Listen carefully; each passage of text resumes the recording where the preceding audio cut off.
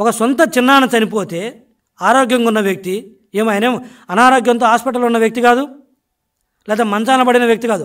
ఆరోగ్యంగా వైఎస్ఆర్సీపీ పార్టీ కోసం ముందు రోజు కూడా దమ్మల మడుగులో ప్రచారం చేసినటువంటి వ్యక్తి చనిపోతే కొంచెం ఎవరికైనా మనసున్న వ్యక్తికి ఉదయం అనేది కొంతమంది కదులుతుంది కదా. కళ్ళలో రెండు చుక్కలు నీళ్ళు వస్తాయి కదా.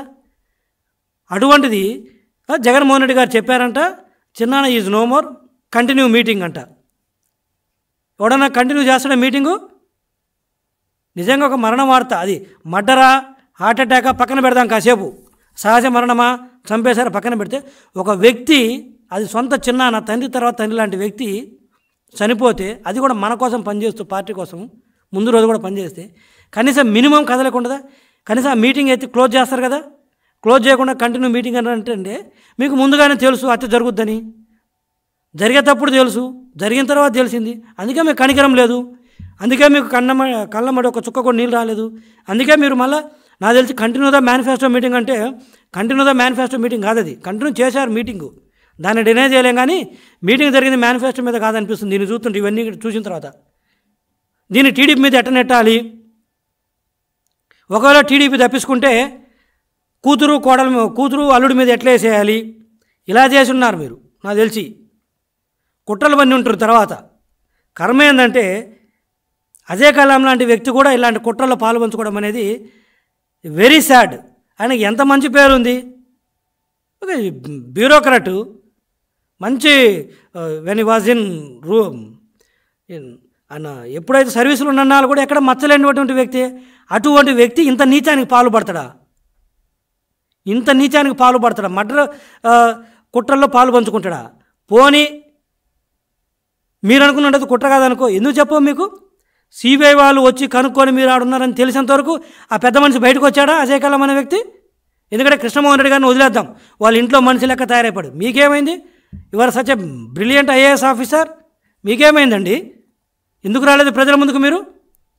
ఏం కక్కుర్తిపడరు ఆ చిన్న పోస్ట్ కోసమా? ఆ సలహాదారు పోస్ట్ కోసమా? టీడీపీ మీకు చీఫ్ సెక్రటరీ ఇచ్చింది కదండి. మీకు అంతకంటే పెద్ద పోస్ట్ ఏం వైఎస్ వైఎస్ఆర్ వాళ్ళు ఇచ్చారు? ఇచ్చి మిమ్మల్ని మీ సలహాలు కూడా తీసుకోవట్లేదు. తర్వాత ఒక కుర్చీ టేబుల్ వేసి పక్కన పడేశారు కదా మిమ్మల్ని? టీడీపీ మిమ్మల్ని మిమ్మల్ని మిమ్మల్ని ఎంతో సత్కరించి చీఫ్ సెక్రటరీ చేస్తే మీరేం చేశారు? నారాసుర రక్త చరిత్ర అని తెలిసి పేపర్లో వస్తే మీరు నోరు మెదపకుండా ఉంటారా? ఇక మీరేం రెస్పాన్సిబుల్ సిటిజన్ మీరు?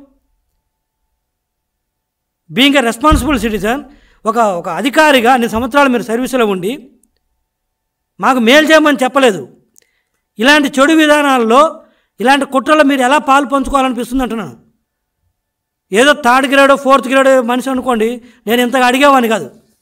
మీ స్థాయి ఏంటి? మీరు ఏం పొజిషన్స్ ఉన్నారు? ఇలాంటి చిన్న చిన్నోడి కోసం కక్కుర్తిపడి వాళ్ళ చేతులు కలిపి చేతులు కలిపి అంత అంశాలు నారాసు రక్త చరిత్ర ఒక ముఖ్యమంత్రి మీద ఆ రోజుకి ముఖ్యమంత్రి చంద్రబాబు నాయుడు గారు వస్తే మీరు నోరు మీద పరా. ఇంకేం మీరు రెస్పాన్సిబుల్ సిటిజను మేము మీరు ఎలా అనాలి మిమ్మల్ని హానెస్ట్ పర్సన్స్ అని? ఇదే అండి నిర్వాహకం అటువంటి వ్యక్తులు కూడా ఎందుకు ఆయన మీద పదే పదే చెప్పాల్సింది వస్తుంటే మాకేం వ్యక్తిగతంగా లేదు. అటువంటి వ్యక్తులు కూడా దిగజారిపోయారు కాబట్టే ఇదిగో ఈ కేసు ఈ స్థాయికి వచ్చింది. ఇప్పటికి కూడా సాక్షి ఏం చెప్తున్నారు? వైఎస్ఆర్ వైఎస్ఆర్సీపీ వాళ్ళు. సిబిఐ చేతులు ఎత్తేసిందంట. ఏం చేతులు ఎత్తేసింది? చెప్పాలి కదా. సాక్ష్యాలు తప్ప అంటారు. మరి ఏం తప్పైతే మీరేం చేశారు ఇందాక నేను అడిగాను ఒక్క అంశంలో మీరు ప్రూవ్ చేయలేపారు ఇప్పటికి నాకు అర్థం కాని అంశం ఏంటంటే చనిపోయింది వివేకానంద రెడ్డి గారు. ముఖ్యమంత్రి గారు చిన్నాన్న వారికి ఒక్కతే కూతురుంది ఆమె ఎక్కిన గడప దిగిన గడప కోర్టుల చుట్టూ పోలీసుల చుట్టూ తిరుగుతుంటే మీరు సపోర్ట్ చేయాల్సింది శ్రీమతి సునీత గారికా? లేకపోతే ఆవిడ్ని ఆవిడకి వ్యతిరేకంగా చేస్తారా? నల్ల మనోహర్ రెడ్డిని పార్టీలో దేకేవారు లేరు. నేను వస్తే ఏడ ఇబ్బంది అవుతుందని నన్ను రానియరు మీటింగ్లకు నేను వస్తే బాధ నాకు అన్నిటిని ఫేస్ చేయడం తెలుసు. నేను కూడా రౌడీ చేసిన నల్ల మనోహర్ రెడ్డికి ఈ బ్యాక్గ్రౌండ్ మాకు తెలియదు. నాకు రౌడీగా గుండా కూడా చేసిరు హండ్రెడ్ పర్సెంట్.